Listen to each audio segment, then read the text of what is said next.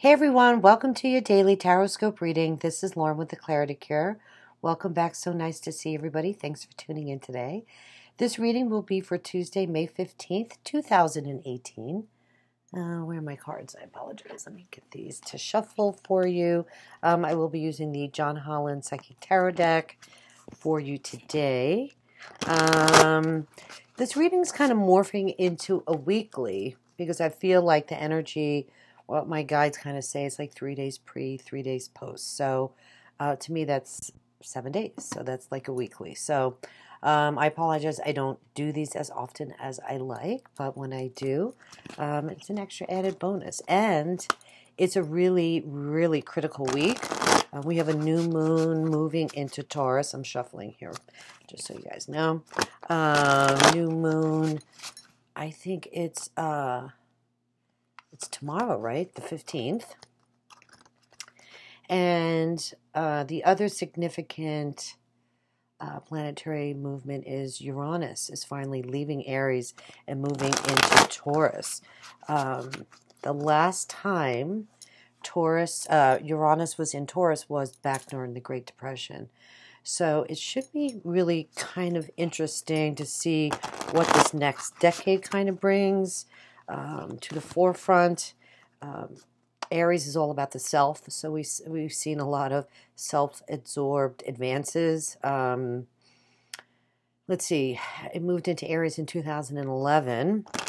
So now we're seeing this new shift, which is kind of interesting. And I think it's going to be more of a practical, grounded kind of energy. I think we're going to see a lot of uh, technology advancements in health. Um, but personally, for you, I think um, this is all about focusing in on what do you want, you know, for the next 10 years, creating a, a, a long-term plan for yourself. Um, I know we all get caught up in the day-to-day, but really sitting down and thinking about it, taking the time out on this new moon, um, uh, this energy this week, and really honing in on um, you know, just being reflective and thinking about, okay, um, what do I want? What am I going to do with my life? Where am I going? So let me shuffle. Let's see what the cards um, kind of have to say. Okay. All right. Two of Pentacles, movement, choices, and decisions the Moon card, number uh, 18, which is also called the Shadow card in John's deck. And then, ooh, the Four of Wands, Foundation and Achievements. Yeah, so I feel like maybe if you're you haven't been sure which way you were going, it's funny. We have a new moon and we have the moon card here. Um,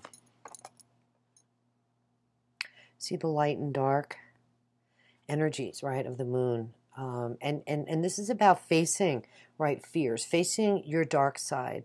Um, maybe getting past these fears of not knowing where you're going or projecting too far into the future, but really sitting and looking deep into your heart, right?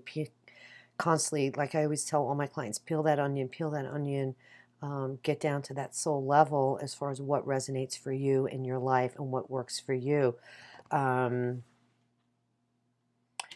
let me just, I'm going to have to put my glasses on, I'm sorry, and my my regular glasses I left downstairs. These are like my emergency in my desk glasses, so I apologize, they're kind of goofy, but um, let me show you the first card, Two of Pentacles, okay, and this is the need for stability. Uh, maybe right now a lot of you could be juggling a lot, um, or you're at this precipice. You see how this man is standing there looking at, you know, kind of all his options and life has maybe been kind of up and down.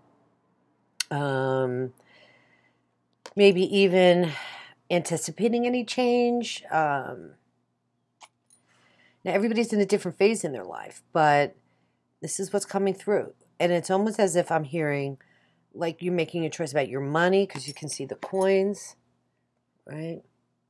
And making uh, decisions about relationships and then which way do you want to grow with this bud here you know you're just like okay what do i really want sky's the limit I'm hearing they're saying sky's the limit for you right now. If you put the effort in, movement, choices, and decisions. Yeah. Time to decide what do I really want to focus in on my life.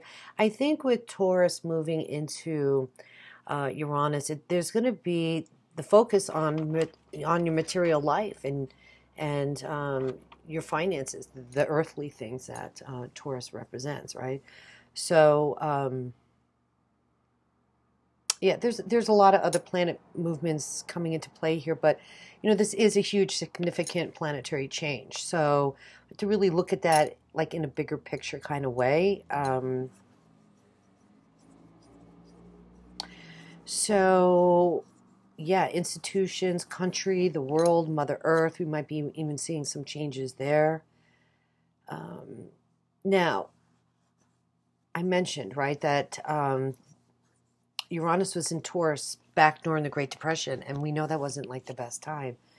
Um, because Uranus will bring upheaval, chaos, but I, I feel like this is definitely we're moving more into a positive shift and change, like maybe more advancements in global warming, um, um, advancements in technology. I mentioned that earlier. So, um, personally for you. So let's get back to this. So I think focusing in on maybe what's been blocking you to be able to move forward and purge, getting out of any kind of emotional state and having faith is the time to do it right now, okay? Because you're at this change, you're at this precipice, and do it. Do it. Get out of your own way. I think the light at the end of the tunnel is going to show itself. You're going to feel this shift. You're going to feel a lot of changes this week. Maybe the, you know, enough to make you want to ride that new energy. Like it's pretty powerful. Like all of a sudden you wake up one day and you're like, oh my gosh, I, I feel so much better. And that's, that's when you know it's a planetary shift. I'm sorry, I'm, I'm sweating here. It's a little warm. Um, I'm kind of beating up here, but anyway, so you get you get the idea, right? And then the final outcome card is the Four of Wands. Okay, um, foundations and achievements. I love this card. Um, the Four of Wands is is really significant in being victorious over what you want. I think if you set the tone this week, uh, especially moving through the month of May, you can really manifest what it is that you want. Okay. Um, I'm just listening here for a minute. Um, what else is coming in? The Four of Wands, you know, is about celebrating, looking how far we've come, like we're going to get over these fears and focus on the choices and the decisions we need to make, specifically on how am I going to move forward, right? And then knowing that the focus, right, is on your foundation. I don't know if you can see that. Right, you can build the wealth that you want and what's significant for you. Um, now, it's funny because a lot of people may consider that you know, monetary. Some of you may consider that just wanting to be comfortable um, and in the space that resonates for you. That makes sense. Um, you know, it's not always about you know the big the coins. You know what I'm saying? Um, although, you know, um, it does help, right? So just be on the lookout. I mean, I feel like if you do this work, like you're going to be pleasantly surprised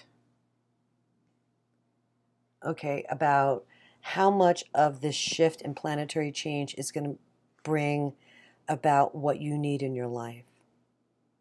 All right. So I think that's it uh, for today. Let me see what else is coming in. Abundance, happy home, trials overcome.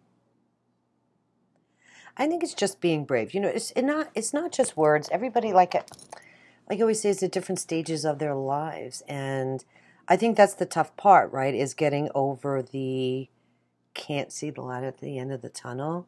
Um, But you know, take advantage of this new moon. Sit down and write down your intentions. Give yourself 10 minutes and think about what it is that you want to change in your life.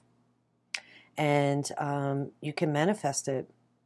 You can absolutely manifest and integrate anything new that you want in your life. Maybe some of you want to move. Maybe some of you are going to be getting married. Okay, so whatever it is for you personally, I feel like it's definitely coming at a time um, after putting in the effort, right? Making the choices and the decisions that you need to make about your life. Where am I going? What am I doing? Getting over any fear based experiences, maybe from the past.